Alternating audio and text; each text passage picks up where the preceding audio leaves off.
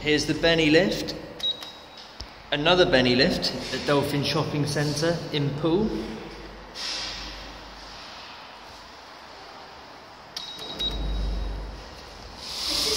This one.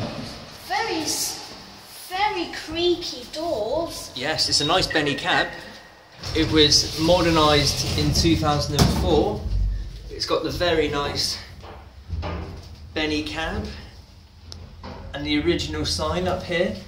Capacity 1,500 kilos, 20 persons. Fast levelling. There's the doors. Go back down to G. Very fast doors. I like the cab. motor very well. It's got a nice motor. Oh, quite bumpy.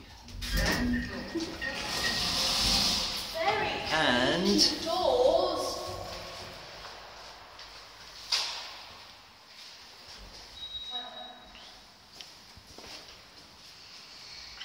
And that's it. and that is it.